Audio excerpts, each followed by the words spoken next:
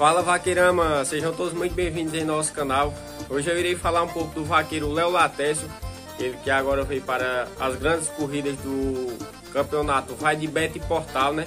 E o vaqueiro Léo Latécio está montando aí a Gogala Zorreiro, égua diferenciada que o vaqueiro Léo Latécio já ganhou diversos prêmios montando essa égua, né?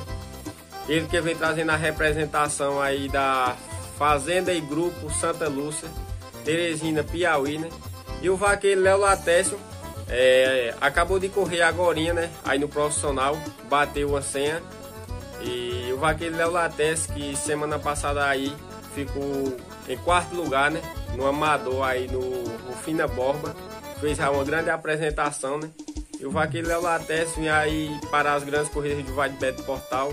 Com certeza irá fazer grandes apresentações, né? Ele que está correndo aí é, no profissional e também no amador, né? O jovem vaqueiro aí que vem ganhando vários prêmios aí por onde passa. E é isso aí, vaqueirama. Já convido você que não é inscrito em nosso canal a se inscrever, né? Você estará ajudando demais. Valeu, tamo junto, é nóis. Quem não segue a gente no Instagram, né?